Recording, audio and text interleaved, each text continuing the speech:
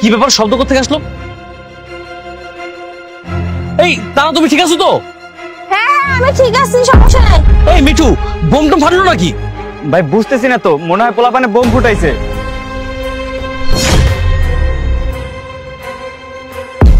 আরে আবার শব্দ এই এই তো তোমার তোমার ঠিক আছো তো?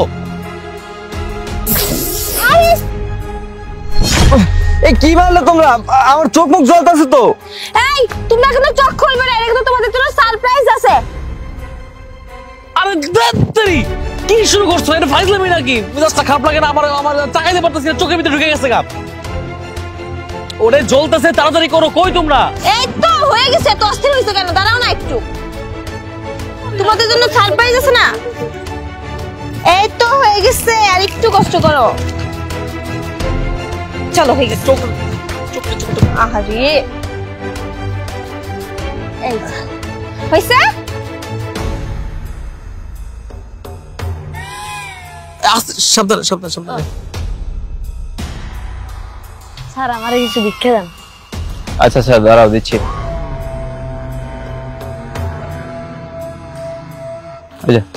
নাও। তিনশো টাকা?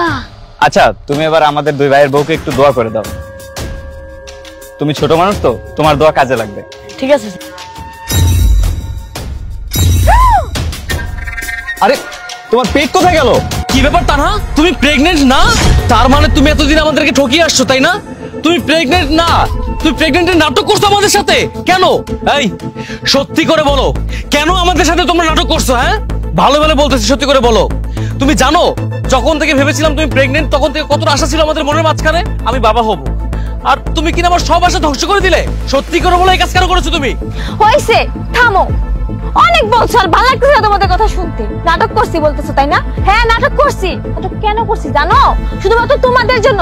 তোমাদেরকে ভালো রাখার জন্য নাটক করছি। তোমাদেরকে সেই কবে থেকে বলতেছি? চলো আমরা ডাক্তারের কাছে যাই। গিয়ে চেক আপ করি। কার সমস্যা আছে গিয়ে দেখি। কিন্তু না, তোমরা আমাদের কোনো কথাই শুনো নাই। কিন্তু বাইরে গিয়ে ঠিকই বলতে পারো। আমার বউ প্রেগনেন্ট হয় না, ও বাজা। এগুলো কথা বলতে খুব ভালো লাগে, তাই না? আমাদের জন্য তোমাদের মান সম্মান চলে যায়। কিন্তু একবারও তো ভেবে দেখছ? সমস্যা তো তোমাদেরও থাকতে পারে। তোমরা যেহেতু ডাক্তারের কাছে যাওইনি এই জন্য আমরা গোপনে তোমাদের একটা টেস্ট করি। তখন জানতে পারি, সমস্যা আমাদের না, তোমাদের দুজনের।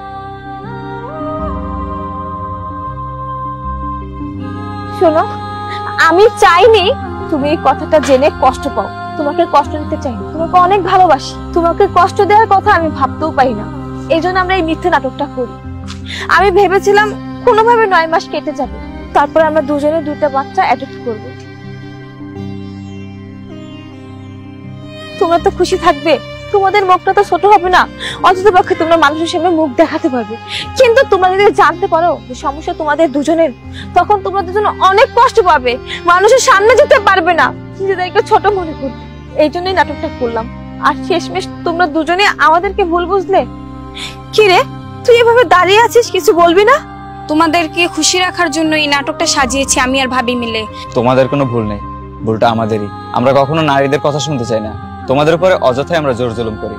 এখন থেকে আমরা তোমাদেরকে সম্মান করব এবং তোমাদেরকে বোঝার চেষ্টা করব। আমরা এখন থেকে আর কখনোই ভুল করব না। তানহা সরি ভুলটা আসলে আমাদের। আমরা কখনোই তোমাদেরকে বোঝার চেষ্টা করিনি। তোমাদের মনের ভিতরে যে এতটুকু কষ্ট ছিল আমরা বুঝতেই পারিনি। আমাদের ভিতরে যে এত বড় একটা রোগ ছিল, সেটা আমরা ভাবিই নি যখনই বাচ্চা না হয়, আমরা সবসময় ভাবি যে মেয়েদের দোষ। মেয়েদের কারণে বাচ্চা হয় না। পুরুষের তো দোষ থাকে, আজকে বুঝতে পারছি না আমরা কত বড় ভুল করেছি। প্লিজ তোমরা আমাদেরকে মাফ করে দাও। আরে কি করতেছো? তুমি কেন মাপ চাইতেছো। মাপ চাওয়ার দরকার নেই। ঠিক আছে চলো তাই চলো।